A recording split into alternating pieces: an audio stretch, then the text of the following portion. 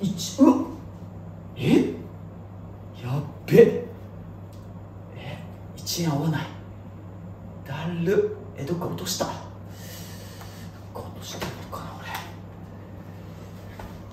うわあないかない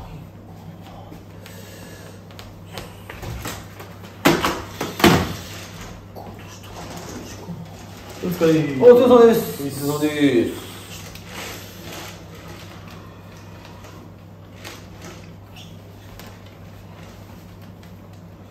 えー、ナイスマジでやばい。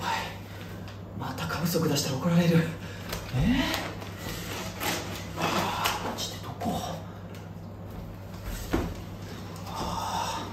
ー、お忘れ物あっちだったわ 今日めっちゃなんかいいっすね今日。何よ髪切ったんすかちょっと切ったのよ。めちゃくちゃいいっすね。そこにあのバーバーってとこ？バーバー？そう。いいっすね。なかなかあの美容師とかさ、はいはい。なんか恥ずかしくてできねえから。そこ行ってんすか？バーバー行ってんだよ。めちゃくちゃレアですね。せやろ本当に。え今度僕も連れてってくださいよ。坊主にしちゃうぞ。ポーズ禁止じゃないですか僕は。いいんだよたまにはさ。そういう駅に一人はいてもいいだろうそんなの。そうですね。頑張れよお前。はいちょっと掃除ちょっとしときます。はい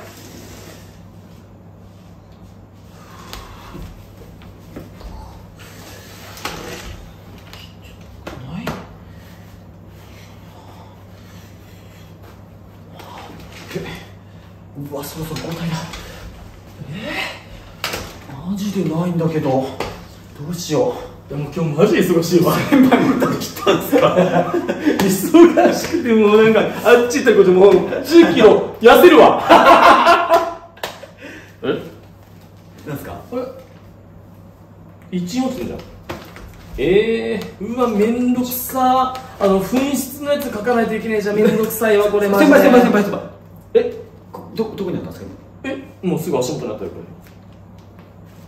れどあれですよね。休憩ですよねこの後。この後休憩で1時間。休憩ですよね。う僕やっときますよ。んえマジで？僕やります。マジで？いや面倒いっすよねだって。めっちゃめんどいだろこれ書くの。えやりますやりますやりまマジで？すマジでやっときます。えじゃあ頼むはいは優しいなきゃとかいもちろん大丈夫ですよ。何それマジで大変なんですよ今日は。何がよ。いや掃除とかいろいろあって大変なんですよ。ずっとなんかなと思ってた。はい。いやなんか結構めっちゃ汚れてるんですよ。あそう今日かなんか祭りありました？この辺で。あなんかね祭りがあったのは三丁目の方で。あそれですか。それかな。僕ばっかなんで。いや関係あるかそれ。